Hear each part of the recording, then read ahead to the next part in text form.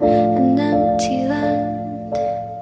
I knew the pathway light the back of my hand. I felt the earth beneath my feet. Sat by the river and it made me complete. Oh, simple things.